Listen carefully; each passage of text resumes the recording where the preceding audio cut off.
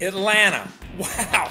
My heart is still beating. Listen, after the Daytona finish, after the Darlington finish, and now this, I, I can't take these three races in a row. I think they're the greatest three stretch anywhere. What an incredible day. What atmosphere. But what did we see right off the bat? We saw how important every race in the playoffs are. We saw the five car of Kyle Larson seemingly running all by himself. Everything's good. That thing steps out. Boom, he's in the wall. He loses 20 points. Martin Truex, no place to go. Boom, Martin loses 18 points to where he was when the day started. And then we have Denny Hamlin, where I don't know what happened to Denny yesterday. I don't know if he spotted him a race. I don't know what he's trying to do. I don't like it, Chris. Yeah, I think they're going to wreck.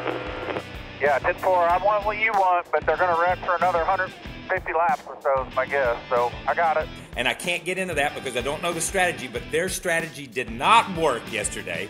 Let me say that. And they lose eight points. These guys have worked themselves into a hole. And for me, these were three of the guys that I had possibly going to the final four, definitely the final eight. So, terrible day for these guys. This is a point system that it's easy to lose, hard to gain these points back.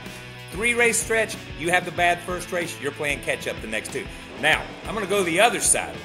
Great day for Joey Logano, for Daniel Suarez, Alex Bowman, and Austin Cindric. Those four guys did something yesterday. They stepped up.